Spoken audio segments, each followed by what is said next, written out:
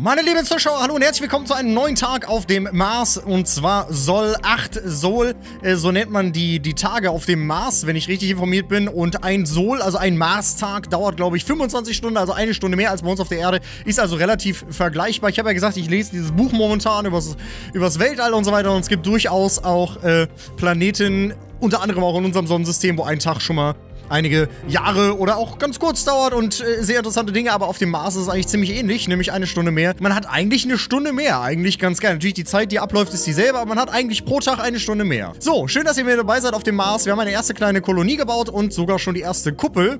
Und äh, die Aufnahme war recht lang. Ich habe das dann auch ein bisschen geschnitten natürlich, weil ich auch viel erstmal gelesen habe. Dann gab es Tipps, aber ich habe dann das ein bisschen zusammengeschnitten und wir sind zumindest bis zur ersten Kuppel gekommen. Und jetzt warten also unsere Kolonisten sehnsüchtig darauf, auch den Mars zu betreten. Die warten schon seit acht Tagen hier in der Rakete und wollen natürlich in die Kuppel einziehen. Aber vielen von euch hat das erste Video gut gefallen. Ihr habt fleißig geliked. Insofern Dankeschön dafür. Und dann machen wir natürlich weiter und sehen es also heute schon wieder. So, wir kriegen ein neues Gebäude vorgeschlagen. Sinnvollerweise natürlich das Wohnquartier. Kolonisten innerhalb von Kuppeln leben in Wohngebäuden. Die wollen natürlich auch nicht, es gibt zwar Parkbänke, aber ich denke, die wollen jetzt hier nicht der erste Penner auf dem Mars werden. Sagt man übrigens nicht mehr, ne? Man sagt, man sagt Penner, glaube ich, nicht mehr. Das ist negativ. Na gut, aber wir fangen erstmal klein an. Wir bauen erstmal hier so ein einfaches Wohnquartier.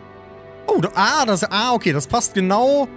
Haben sie sich schon so überlegt, das passt genau hier in einen so einen Quadranten rein. Boah, die haben sogar gedacht, die, die wohnen auf dem Mars luxuriöser als ich hier auf der Erde. Das ist schon traurig eigentlich. Die haben Bäume, die haben eine Terrasse mit Sonnendeck und all so ein Kram. Wobei ich die sagen muss, die Anordnung ist eigentlich nicht so klug, weil die können ja jeweils auf die Terrasse der anderen, wenn man das Gebäude gedreht hätte. Ja, ist egal. Okay, dann bauen wir jetzt mal hier so ein erstes Wohnquartier. Äh, Baustelle, bla bla bla. 10 Beton, das heißt, unsere Drohnen sollten jetzt... Haben wir denn noch genug Beton? Wir haben jetzt so viel Beton, wir haben ja irgendwie 80 Beton für die Kuppel verbraucht. Ja gut, die fahren aber schon 1, 2, 3, 4, 5, 6, 7. Man kann das ja tatsächlich zählen. Da kommt noch ein Klotz. Wir könnten natürlich auch einfach schon mal einen weiteren Beton, äh, ja, eine weitere Betonabbaustelle bauen, ne? Dann hätten wir ein bisschen mehr zur Verfügung. Wenn wir noch einen Betonextraktor bauen, was kostet der? Zwei Maschinenteile. Wir haben allerdings noch zwölf auf Lager. Wir sollten dann demnächst mal noch eine Versorgungsrakete äh, bestellen, die noch ein bisschen mehr holt vielleicht. So, je nachdem, wie wir es platzieren, sehen wir übrigens auch rechts, wie viel da abgebaut werden kann. Wenn ich es hier platziere, haben wir 350. Das ist, glaube ich, Maximum. Das gefällt mir ganz gut. Und dann haben wir nämlich noch einen weiteren Betonextraktor und dem geben wir dann auch wieder hier so eine, eine, Stromverbindung. Ja, Stromverbindung und am besten auch noch Rohre, ne? Das will der. Wobei, der braucht gar keine Rohre. Ne, das stimmt. Der braucht ja gar keine Rohre. Die Rohre brauchen ja nur hier die äh, Kuppeln. Die brauchen ja Sauerstoff, ähm, Wasser und so weiter. Aber der Betonextraktor braucht das ja gar nicht. Der braucht nur Strom. So, Strom haben wir auch immer noch einen genügenden Überschuss. Wasser ist ein bisschen wenig. Dieser eine Vaporator, den wir da gebaut haben, produziert halt wirklich nur ein Wasser. Eine Einheit Wasser. Die wird halt direkt verbraucht von der ersten Kuppel dann komplett, ne?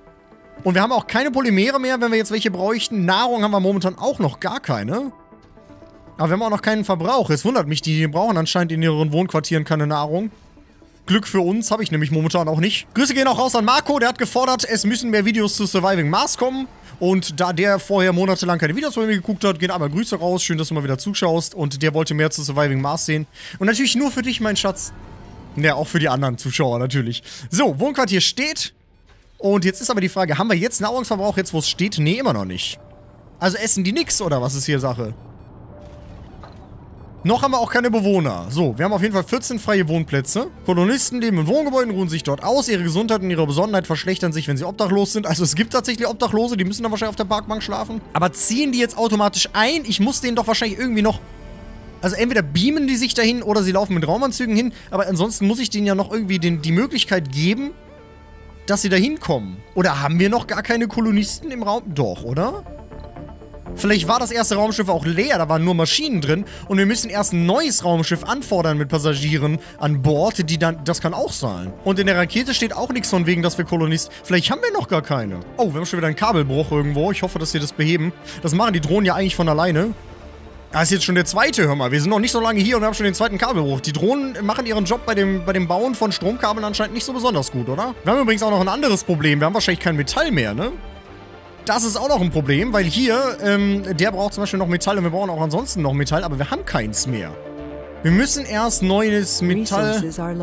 Genau, Ressourcenknappheit Metalle. Ich sag's ja, wir müssen erst neuen Metall... So, Passagierraketen. Wenn du bereit bist, kannst du, kannst du die ersten Kolonisten zum Mars einladen. Starte eine Passagierrakete auf der Erde und lande sie in der Nähe de einer deiner Kuppeln. Die Rakete verfügt über eine, einige Nahrungsvorräte, aber du musst dich im Vorhinein um Strom, Sauerstoff, Wasser und Wohnraum kümmern. Ich meine, gut, Strom haben wir, Sauerstoff haben wir, Wasser haben wir, Wohnraum haben wir. Haben wir jetzt von allem nicht so richtig viel. Vor allem Wasser haben wir gerade das eine, was wir brauchen, aber es reicht ja. Ist nur so... Ja, genau, dann ist es so, wie ich es vermutet habe. Wir hatten in der ersten Rakete gar keine Leute. Ich habe gedacht, die warten die ganze Zeit, dass wir hier die Basis geschafft geschaffen haben und die dann einziehen können.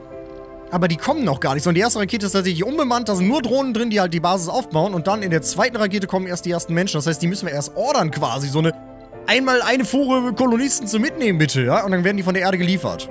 Aber das, ähm, wir haben zwar die Bausteine dafür, wir haben alles, aber ich würde, glaube ich, trotzdem erstmal mich um die Ressourcenknappheit Metall kümmern wollen, bevor wir jetzt hier Menschen hinschicken. Nahrung brauchen wir anscheinend nicht, haben wir auch noch nicht, ähm, aber hier steht ja, die haben Nahrung dann dabei, so ein bisschen zumindest. Ich meine, die hat, also man kann theoretisch mit der auch Exportgüter dann zur Erde schicken und damit Geld machen. Wir können wahrscheinlich hier besondere seltene Erden oder sowas auf dem, auf dem Mars finden und dann zur Erde schicken und dort verkaufen. Dann kriegen wir damit wieder Geld und können dann wieder neues äh, Zeug von der Erde bestellen, nämlich Polymere, elektronische Geräte und so weiter. Ich denke, so funktioniert es dann auf Dauer. Beachte, dass die Rakete betankt sein muss und dass verbleibende Ressourcen an Bord verloren gehen.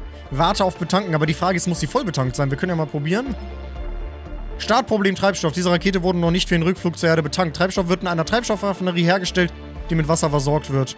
Okay, also anscheinend ist es nicht so gedacht, dass wir die schon zurückschicken. Das heißt, die soll erstmal stehen bleiben und wir sollen eine neue, neue Rakete bestellen. Okay.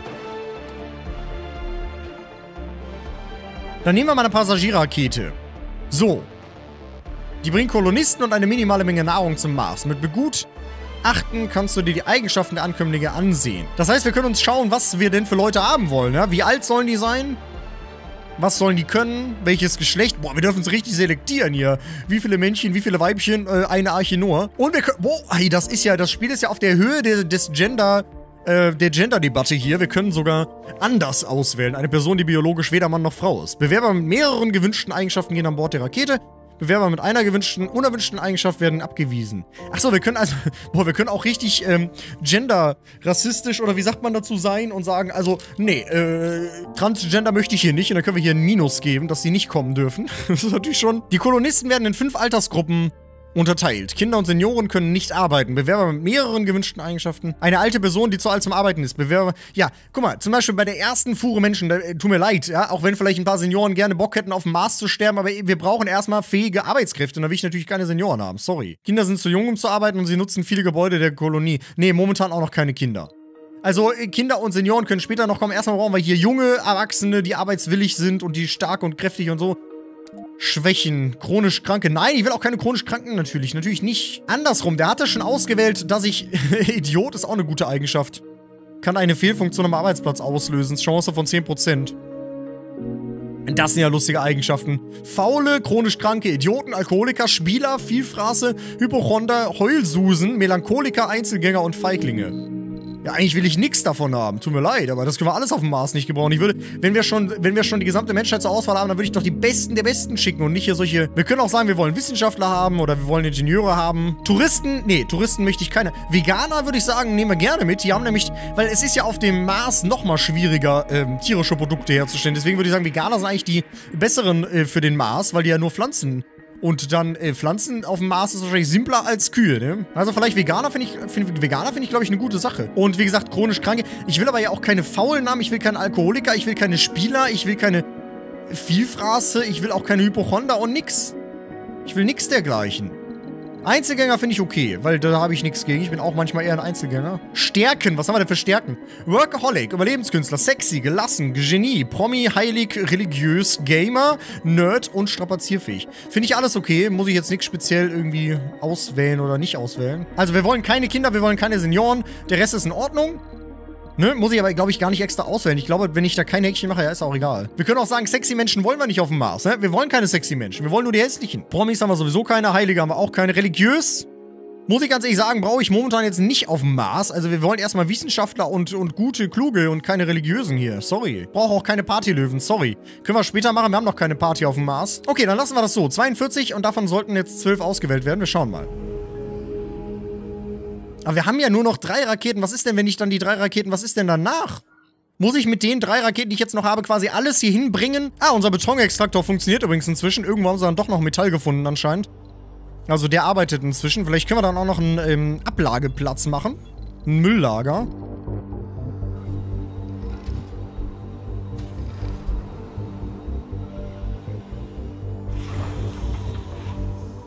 Tja, jetzt habe ich die Rakete bestellt, aber wie oder wo landet die denn dann? Muss ich die selber noch irgendwie...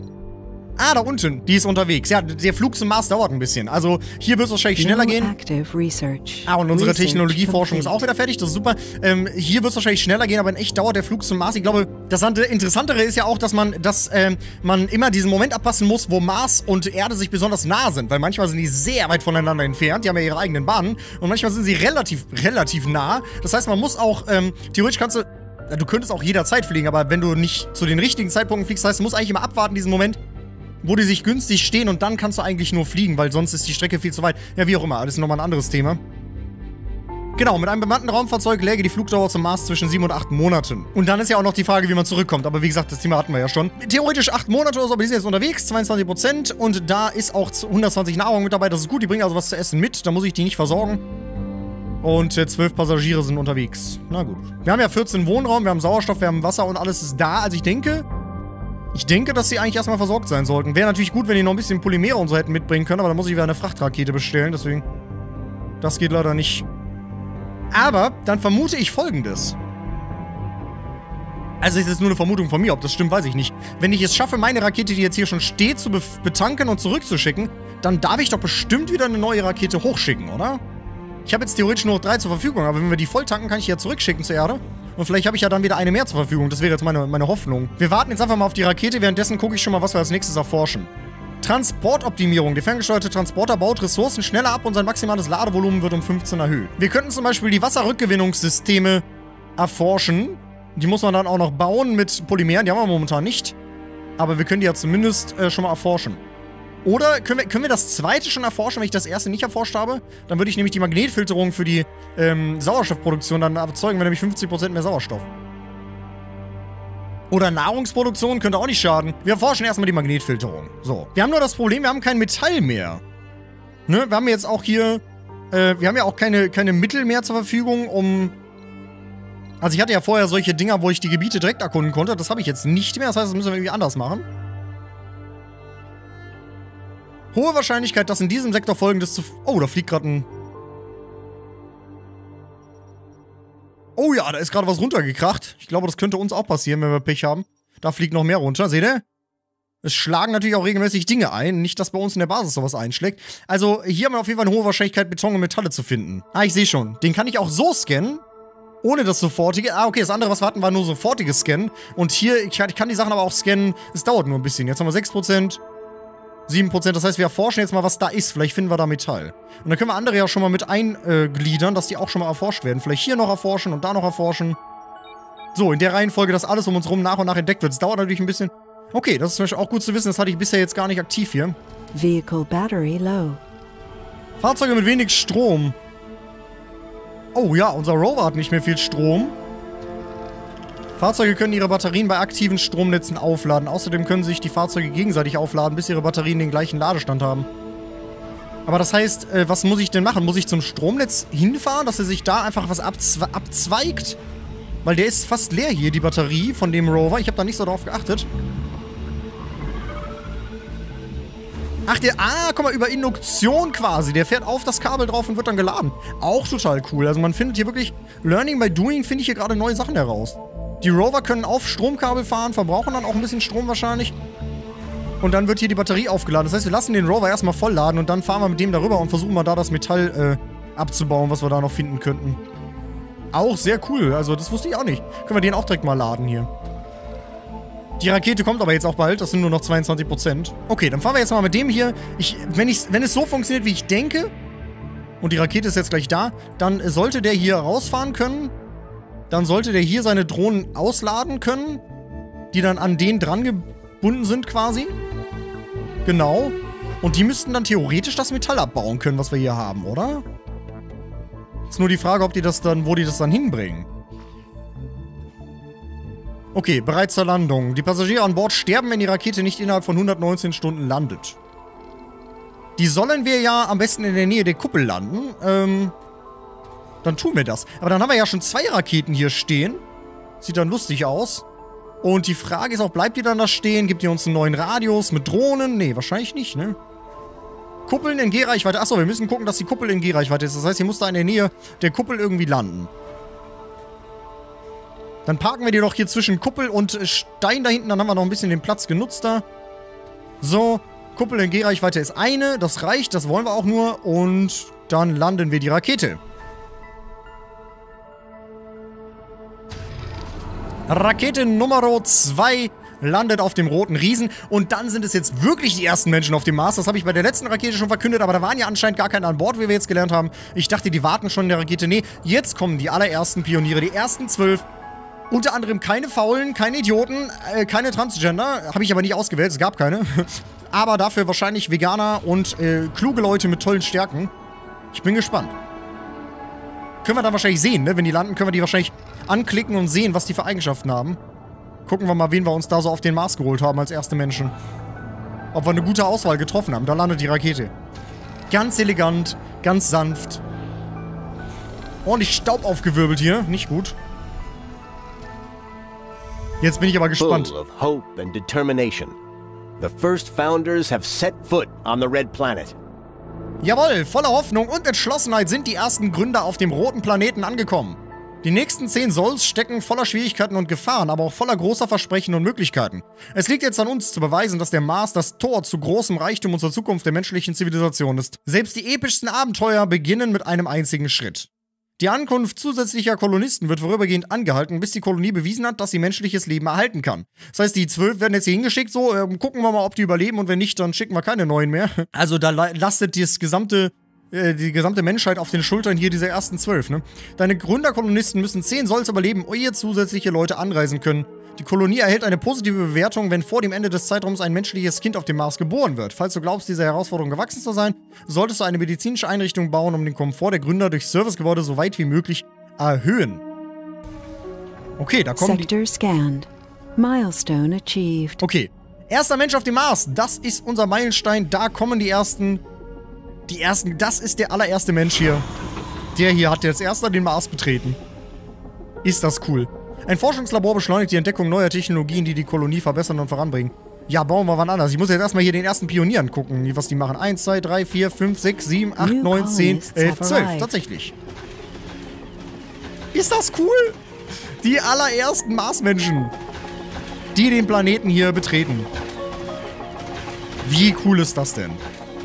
So, damit haben wir die ersten zwölf, die ihre neuen Häuser. Das, ich meine, das ist jetzt hier spielerisch und lustig, aber stellt euch mal vor, die ersten Menschen, die betreten diesen, also vor, vor, angenommen, es würde so ablaufen wie hier, dass erst Drohnen hinfliegen und schon eine lebensfähige Basis bauen und die betreten, die kommen da an und betreten zum ersten Mal ihr neues Zuhause auf dem Mars. Das ist so verrückt, diese Vorstellung. Aber irgendwie auch sehr geil. So, und die ziehen jetzt hier ein. Alle ins selbe Haus oder was? Nee. Wie viele wohnen denn in einer Hütte? Wenn es drei Hütten sind und zwölf, dann sind vier pro Hütte. Das ist okay. Und wir haben ja sogar noch zwei Plätze, ne? Ein Schelm, der Böses dabei denkt, als hätten wir extra schon eingeplant, dass hier vielleicht jemand ein Baby machen will. Aber wenn ihr natürlich mit vier Erwachsenen, die sich vorher noch nicht so kennen, wahrscheinlich in einem Haus wohnen, da dann Babys machen, naja gut, muss sein, ne? Für das Wohl der Menschheit. Und jetzt wollen wir natürlich so schnell wie möglich ein äh, Neugeborenes und wir wollen am besten auch hier Nahrung produzieren und so ein Krams. Nahrung ist überbewertet, Freunde. Wer braucht denn Nahrung? Aber Nahrung haben wir. Wir haben auch schon ein Nahrungslager gebaut. Das ist hier. Da bringen jetzt die Drohnen die Nahrung hin. Und dann können die sich da bedienen, hoffe ich mal. Ah, okay. Die betanken sich sogar von alleine. Seht ihr? Okay, die Rakete ist nämlich jetzt schon bei 54, obwohl ich da nicht aktiv irgendwie Treibstoff herstelle. Aber sie ist bei 54 von 60. Das heißt, irgendwann wird sie voll sein. Vielleicht lädt sie auch über Strom. Das kann ja auch sein. Und wenn die dann voll ist, dann ähm, die, können wir die zurückschicken. So, wir müssen jetzt aber noch 9 Tage und 19 Stunden müssen die noch überleben. Jetzt müssen wir mal schauen, was die denn alles brauchen. Ich mache mal ganz kurz Pause. Ich meine, klar, wir brauchen Strom, wir brauchen Sauerstoff, wir brauchen Wasser. Haben wir ja alles, ist alles vorhanden, keine Sorge. Nahrung haben sie ja auch, die haben wir ja jetzt bekommen. Was wir haben, ist ein Edelmetallvorkommen. Da könnten wir Edelmetalle extrahieren. So viel Metall habe hab ich allerdings jetzt gar nicht. Und wir bräuchten zwölf Arbeiter. Das wäre quasi schon alles, was wir an Arbeitern haben. Ich denke, das ist nicht so gedacht, sondern wir sollen wahrscheinlich erstmal... Ich kann auch gar kein, ich kann auch gar nicht mehr bauen momentan, weil wir bräuchten ja mehr Wasser erstmal. Ich habe ja nur diesen einen Wasservaporator und die Vaporatoren kommen von der Erde. Wir haben gerade noch keinen neuen Und Wasserextraktor kann ich noch nicht bauen, weil wir ja noch gar kein Wasser auf dem Mars entdeckt haben. Das heißt, ich bin wassermäßig gerade begrenzt. Wir haben nur das eine bisschen, was wir hier in dieser Kuppel herstellen. Also das Spiel hat gesagt, ich soll ein Forschungslabor bauen. Weiß ich nicht, ob ich das für die beste Wahl halte. Erzeugt Forschung, kostet Beton und... Also wir hätten die Materialien schon. Aber das braucht auch neun Arbeiter. Eigentlich wollen wir die Wasserrückgewinnung haben. Das wäre eine gute Sache. Aber da habe ich ja sowieso die Baumaterialien auch gar nicht für. Jetzt haben wir auch noch Deko-Elemente hier. Also das Spiel will, dass ich ein Forschungslabor baue. Dann mache ich das. Es muss aber auch hier in diese Kuppel gebaut werden. Ich weiß nicht, ob es da irgendwie eine Art platzsparendes Bauen gibt, wie es am meisten Sinn macht, aber wir bauen das einfach mal da so in die Ecke. Es verbraucht drei. Das heißt, wenn wir drei, drei, drei, können wir drei Gebäude, die drei Felder einnehmen. Ich denke mal, ich hoffe, dass die Gebäude so geplant sind vom Spiel, dass sie dann, dass dann drei Stück passen. Das heißt, wenn ich den da einbaue oder hier vorne in die Mitte sogar, sieht auf jeden Fall ganz schön aus, denke ich, wenn wir hier ein Forschungslabor haben. Das Spiel hat gesagt, ich soll ein Forschungslabor bauen, sonst hätte ich eigentlich was anderes gebaut. Ja, es wird eigentlich dringend Zeit für eine Nachschubrakete, es tut mir leid. Also, wir brauchen eigentlich eine Frachtrakete. Und zwar brauchen wir einen Drohnenhub, wir brauchen einen Feuchtigkeitsvaporator, die anderen Sachen, ah, die sind natürlich geil, ja, hier aus Edelmetallen die Sachen selber herzustellen. Aber momentan ja noch nicht. Das kommt erst ein bisschen später. Feuchtigkeit wäre gut, weil wir ein bisschen mehr Wasser brauchen. Und ein Drohnenhub wäre auch gut. Vielleicht sogar zwei. Jeweils zwei. Kostet natürlich viel Kohle, ne? 400 Millionen, 300 Millionen ist nicht günstig. Vielleicht noch ein paar Drohnen bestellen. Eine Drohne kostet 30 Millionen, ist ja ein Schnäppchen, ne? Vielleicht kriegen wir jetzt drei zum Preis von zwei oder so. Nehmen wir auf jeden Fall nochmal vier Drohnen mit. Und ansonsten Beton brauche ich nicht. Metalle vielleicht ein bisschen... Ist das teuer? 5 Tonnen Metall kosten 50 Millionen. Ja, alles, also zum Mars schicken ist scheiße teuer. Selbst wenn du nur Staub zum Mars schicken würdest, wäre es schon teuer, weil es halt einfach eine teure Reise ist. Das heißt, jedes Kilo kostet extrem viel. Nahrung haben wir eigentlich ja noch genug. Die haben ja 120 mitgebracht. Ja, dann können wir den Rest schon noch ein bisschen mit Metallen auffüllen vielleicht. Oder wir nehmen noch so einen Stromgenerator mit. Dann haben wir zwei Drohnennaps, zwei Feuchtigkeitsvaporatoren. Nehmen wir sogar drei Feuchtigkeitsvaporatoren. Oh, wir können sogar hier noch einen Stirling-Generator. Ist natürlich jetzt alles sehr teuer. Dann haben wir zwei, zwei Stromgeneratoren, drei Feuchtigkeitsdinger, zwei Drohnenhubs. Außerdem äh, vier Drohnen, 15 mal Metall, 25 mal Polymere, 15 mal Maschinenteile und 15 mal elektronische Geräte. Ich denke, das ist eine gute Mischung. Und damit haben wir genau die Frachtkapazität vom Gewicht hier ausgenutzt. Und das Ganze kostet uns aber auch eine ganze Menge. 1,7 äh, Milliarden, 120 Millionen, 150 Millionen, 350 Millionen, 270 Millionen, 300 Millionen. Wir nennen die aber nicht Freundschaft 1, sondern wir nennen die Happy Meal, weil das ist eine schöne, schöne bunte Mischung Sachen, die wir brauchen können. Deswegen einmal Happy Meal zum Mitnehmen bitte von der Erde. Dankeschön. So, neue Rakete ist unterwegs. Da sind wichtige Sachen drin, die wir brauchen. Das ist gut. Die brauchen wir nämlich wirklich dringend. Die Rakete kann dann bald zurückgeschickt werden. Ah, guck mal, die lagern das hier ein. Okay, das heißt, wir brauchen dann den Transporter den haben wir hier und der Transporter muss das dann abholen gehen. Dafür ist unter anderem der Transporter gedacht. Das heißt, wir können zwar mit diesem Drohnenrover können wir ein bisschen weiter wegfahren und da Metall sammeln. Das muss dann der Transporter einsammeln und der kann das dann zu unserer Basis bringen und dann haben wir auch Metall, was weiter weg ist, zu uns gebracht. Ach so, der kann das auch direkt einladen von da, oder wie? Der kann das direkt einladen, das heißt, da brauchen wir gar nicht die Drohnen für. Das können wir ja, dann, dann brauchen wir ja die Drohnen nicht. So, Kolonisten besuchen Gebäude je nach Interessen, um ihre Komforteigenschaft zu erhöhen. Wenn ihr Komfort zu sehr sinkt, bekommen sie, bekommen sie eventuell Heimweh und wollen die Kolonie verlassen. Service, ja, dann, dann schaut mal, wie ihr hier die Kolonie verlasst, Freunde. Dann viel Erfolg, ihr Lieben. Versucht ihr mal abzuhauen hier. Servicegebäude sind unerlässlich für den Komfort der Kolonisten. Wir sollen einen Diner bauen. Ah, weiß ich nicht, ob ich das... Our colonists are suffering from hypothermia. Oh, wir haben keinen Strom. Das ist nicht gut. Die Kolonisten leiden unter Unterkühlung. Kuppeln sind mit Heizungen ausgestattet, die rund um die Uhr für angenehme 23 Grad Celsius sorgen. Ganz im Gegensatz zu den schwankenden Temperaturen der launischen Marsatmosphäre. Die Temperatur innerhalb der Kuppel sinkt rapide, wenn die Stromversorgung abgeschnitten wird und die Kolonisten spüren die Nebeneffekte sehr schnell. Wenn die Situation unverändert bleibt, kann es zu Todesopfern kommen. Das heißt, wir verbrauchen irgendwo Strom zu viel.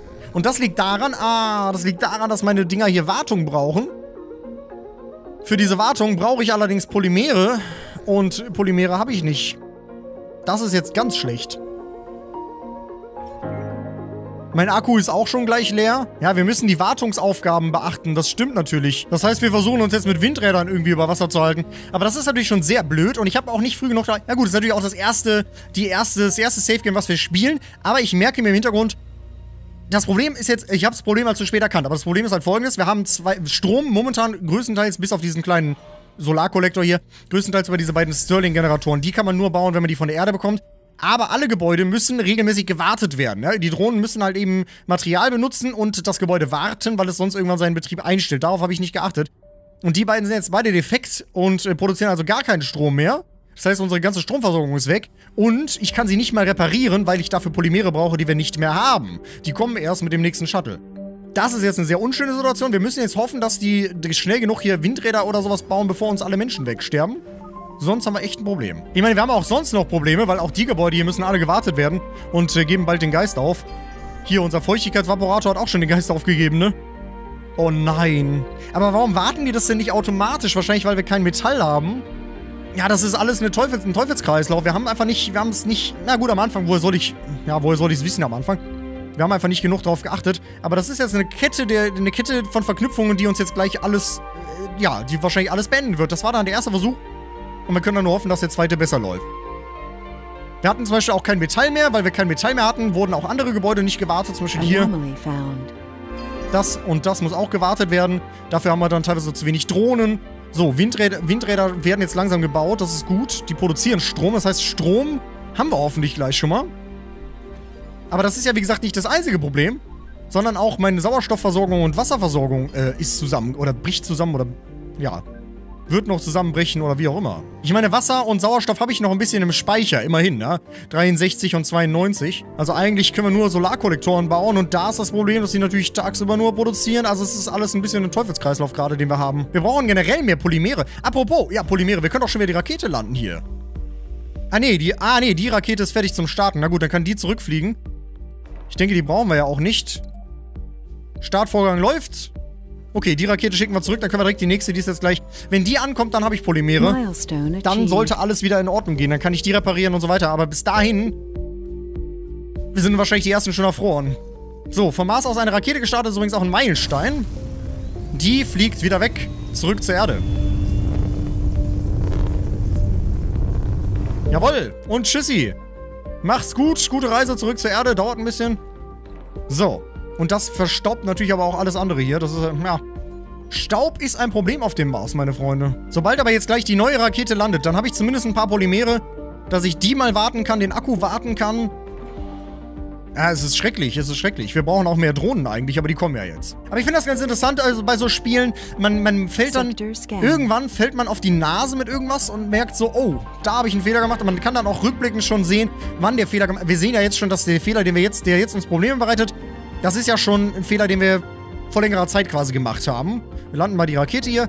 Ähm, nämlich, dass wir einfach Metall nicht genug rangekarrt haben, die Wartung nicht stattgefunden hat bei verschiedenen Gebäuden und dann ist alles auf einmal zusammengebrochen, aber der Fehler war ja schon vorher.